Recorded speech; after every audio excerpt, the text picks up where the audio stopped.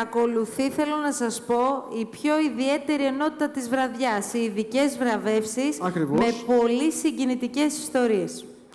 Πριν περάσουμε σε αυτές, θα μας επιτραπεί μία μικρή ενότητα για το τι μπορεί να κάνει, τι θέλει να κάνει και τι σχεδιάζει να κάνει το επαγγελματικό επιμελητήριο της Αθήνας. Αφορά στο κέντρο της Αθήνας; αφορά στο ιστορικό κέντρο, αφορά σε πλάκα, μοναστηράκι.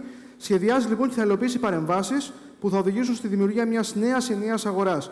Πλάκα, μοναστηράκι με νέο concept, νέο branding, αναβάθμιση των δημόσιων υποδομών σε όλα τα επίπεδα.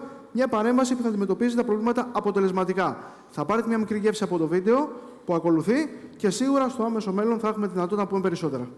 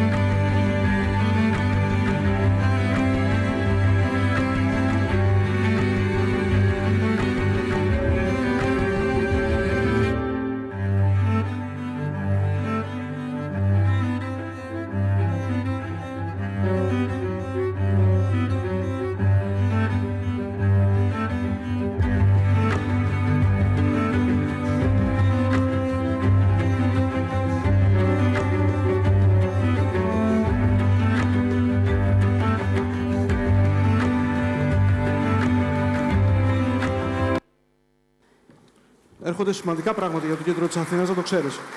Το ξέρω κάτι, κατάλαβα από το βίντεο που προηγήθηκε.